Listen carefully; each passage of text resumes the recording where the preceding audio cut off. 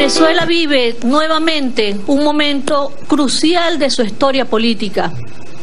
El inicio del proceso constituyente representa una gran oportunidad para el encuentro y el debate nacional, en donde podremos hallar soluciones a las dificultades de nuestro tiempo. La convocatoria de todos los sectores que tendrán viva voz y voto en esta asamblea nos muestra el acierto histórico. Que Venezuela decida si Venezuela quiere a los violentos y terroristas o quiere al pueblo constituyente que quiere paz y prosperidad. Venezuela, amada, ahora la decisión está en tus manos. En las próximas semanas tendremos elecciones.